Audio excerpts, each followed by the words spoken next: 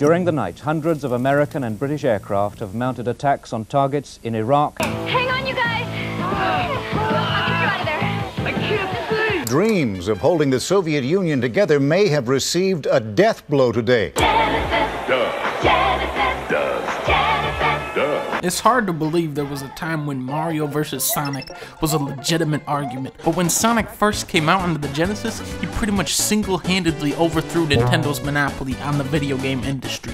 And this can be chalked up to, you know, great marketing by Sega and the fact that these games were fucking badass. Then Mario makes the jump to 3D.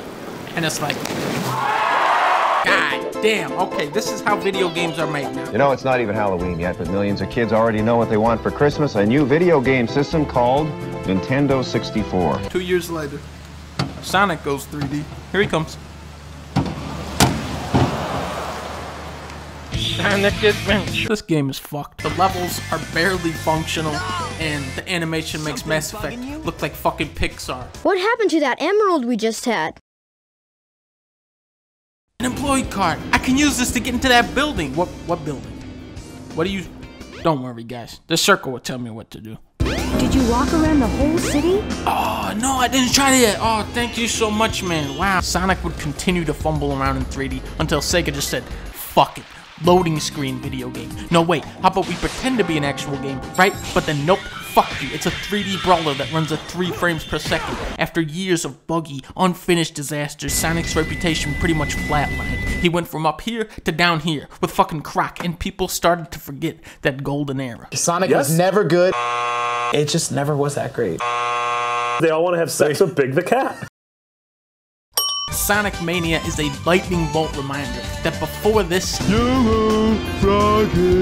Sonic was the man. It is unbelievable how effectively they've captured the spirit of the originals while subtly injecting their own ideas into these classic stages. Once again, momentum plays a huge role, not in just how Sonic moves, but in the general pace of the game. When you're building a roller coaster, you don't just build a big circle out of metal and call it a day. You know, you gotta build up enough speed to shoot someone through that loop.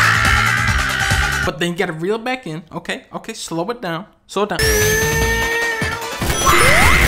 You're constantly building towards that 100 rings so that you can get an extra life. And you come to these tense moments where you're at 93 rings. You're right there at the finish line. About, and say goodbye to everything, you stupid dumbass.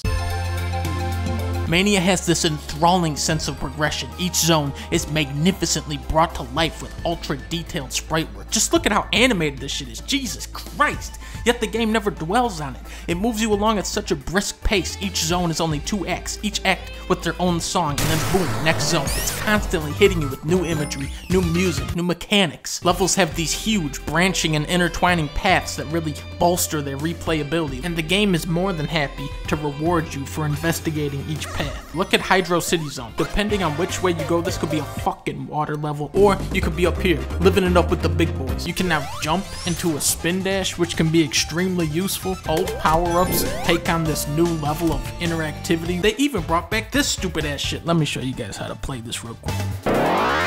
And for the first time in Sonic history, an actual fun bonus stage. My only gripe with this game is how much of its identity is owed to its predecessors. There are 12 zones, which splits into thirds of, you know, remix levels from the originals, dramatically overhauled levels, and the brand new stuff, which is so good that you go, God damn, I just wish this whole game was new levels. On the flip side, you get possibly the most consistent Sonic game to date. There are no low points here, even with the inclusion of some oddball stuff. Lava Reef Zone? What the fuck, guys? Why would you put in lava? That level was awesome. There are tons of surprises and winks in here for longtime fans. Sometimes you'll see mechanics from stages that aren't even featured pop up. There is a boss fight in here that I am not going to spoil now, but after you play the game, you'll know what I'm talking about. And let me say, Damn. Sonic Mania is a game made by fans, but it is not a fan game. It is a victory for anyone who loves video games. It's a game that once you beat it, you go, alright, let's go beat it again. And that's exactly what I did.